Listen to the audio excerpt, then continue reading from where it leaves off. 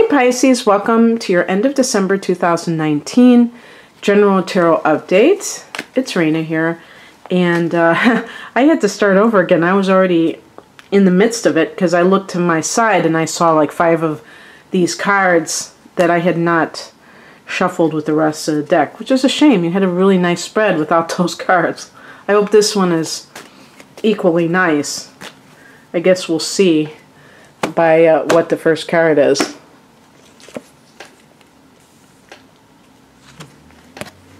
oh, well, we got three swords here to start off the reading. Isn't that interesting? Another swords. Okay. Oh my goodness.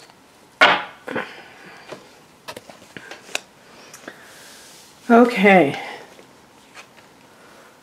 The heart of the matter is the Queen of Swords. When I get this card, I often think that the person is steeling themselves to make a decision. Steeling themselves meaning um, trying to brace for their decision because, you know, you are a water sign and you may have emotions that are kind of interfering with your ability to make a decision.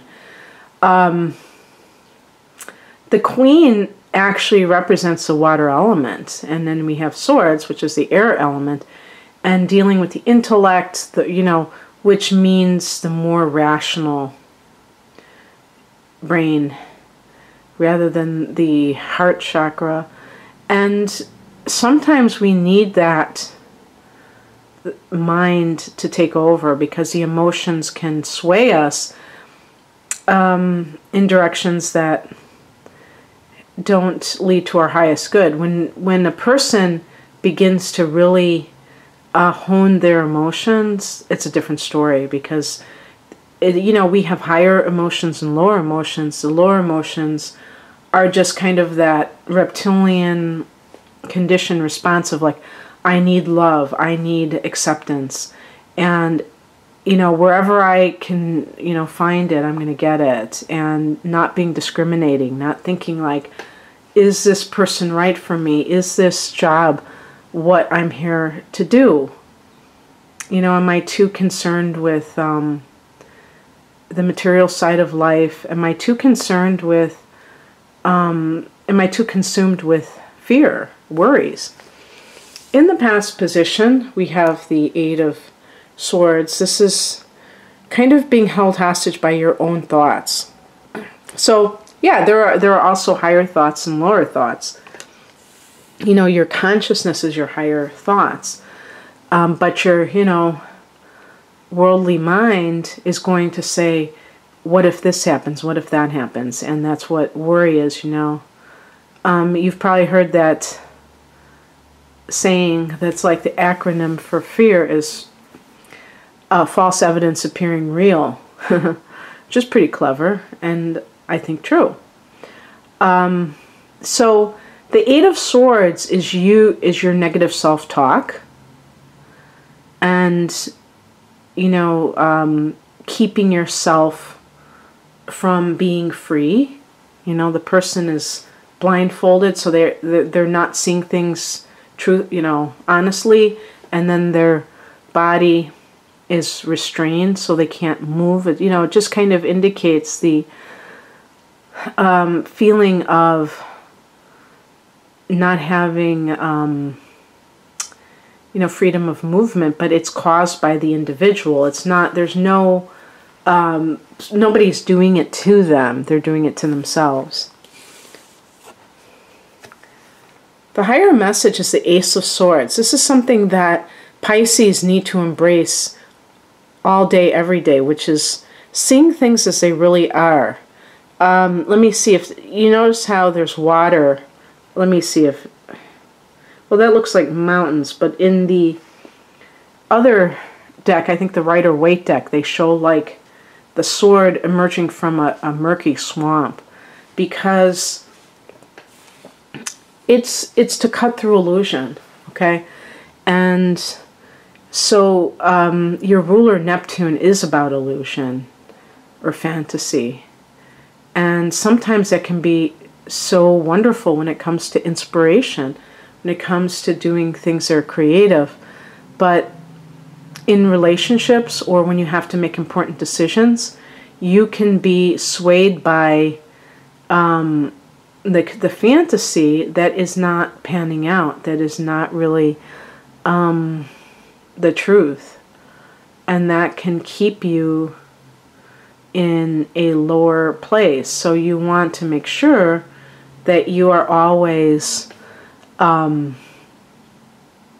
you know, checking in with yourself and saying, you know, if you're dealing with somebody and you notice that they're kind of altering their behavior, or they're changing, um, and you, you see that things have changed, that you don't just kind of create a, an alternative narrative, but that you communicate with this person. You know, swords are about communication, and you have all these swords here. So you're probably being asked to communicate with somebody in order to decide what you're going to do. Now, you may have, perhaps you have already done that and you haven't gotten a straight answer. That's when it's the most, I think that's when it's the most problematic because it's a horrible feeling to suspect somebody is doing something like behind your back, but you can't put your finger on it. Um,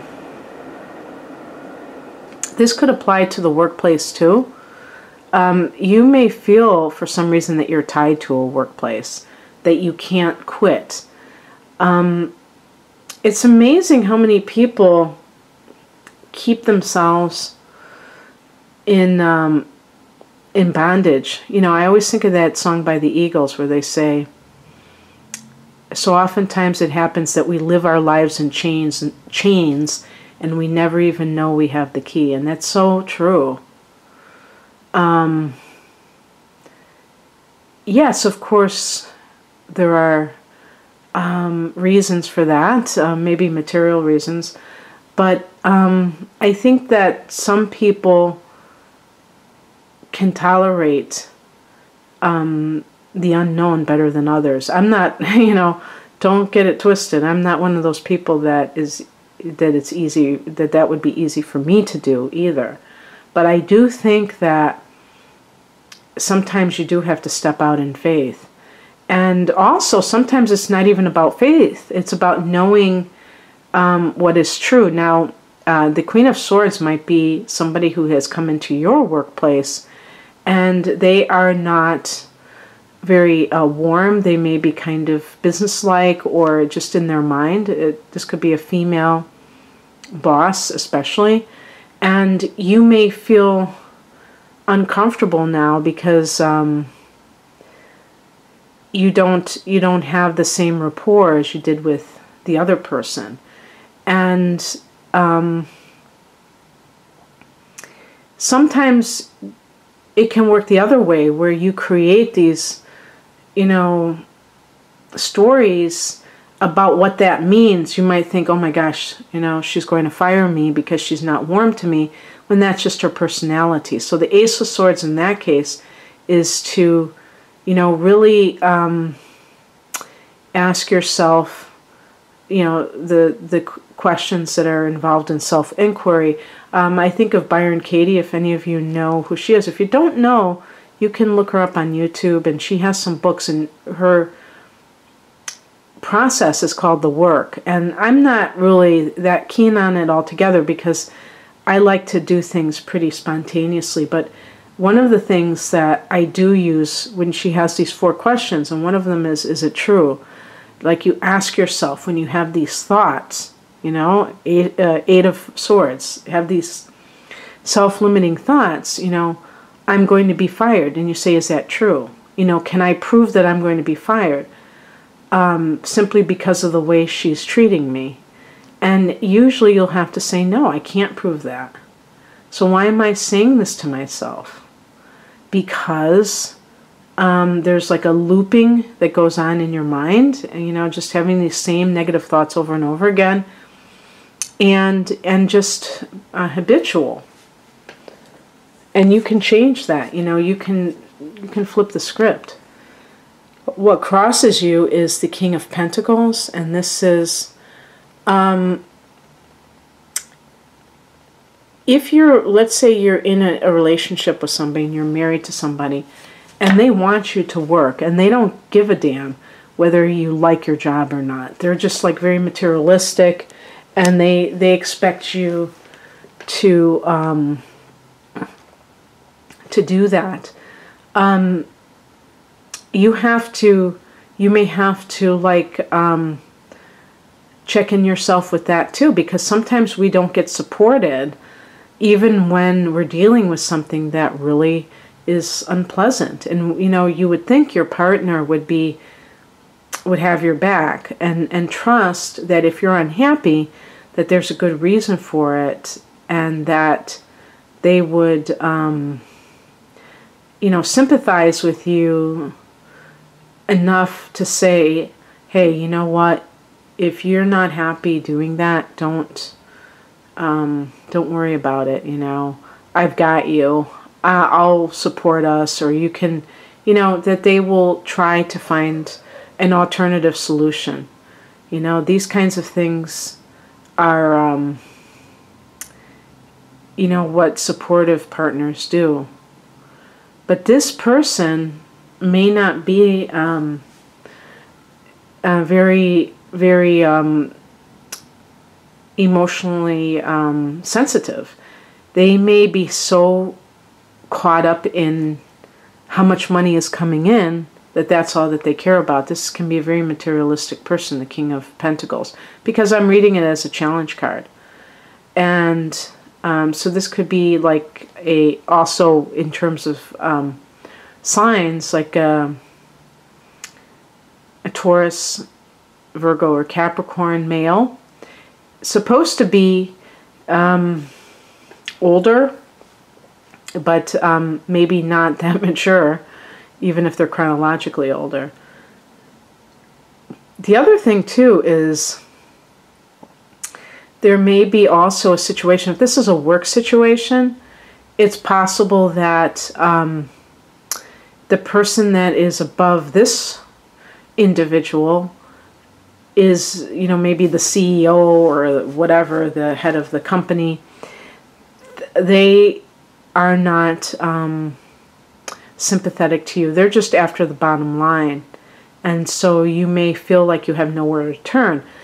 If this is a, this could be even your family, that you're, um, that you've always tried to get love from your mother and it never, you know, um, when I when I see kings and queens, I think of narcissists because they're in positions of power. And maybe this is somebody who has always withheld praise. Even though this is in the upright position, I could see for a Pisces who's dealing with this person, like especially if they happen to be an air sign, Gemini, uh, Libra, or Aquarius, where they are not particularly effusive, they don't kind of give those um, words of encouragement, and you may be feeling like you're um, left out in the cold. And it makes you turn on yourself and think bad thoughts of yourself. But the Ace of Swords is about discovering the truth of the situation. Um, one of the truths, especially if you are dealing with a narcissistic personality, is that they don't have it to give you even if they wanted to. So it's no reflection on you, it's actually a reflection on them.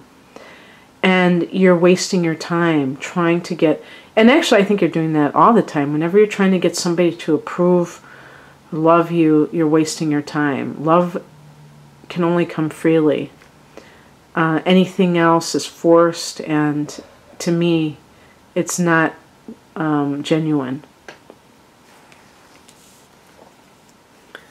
What's coming in is represented by the Page of Swords. This is kind of the spy card. In some cases, you know, because you're trying to ferret out the truth, you may be documenting things. You you may be preparing for some kind of a uh, like if you feel like there's an abuse of power at your workplace, um, you may be becoming very observe, observant of the office politics or dynamics and then writing them down and documenting them. Um, if this is a situation in your love life, you you may be becoming even more vigilant and aware because if the other person isn't telling the truth, um, you don't have much else to go on. So you either maybe you're trying to um, catch this person in a lie or what have you.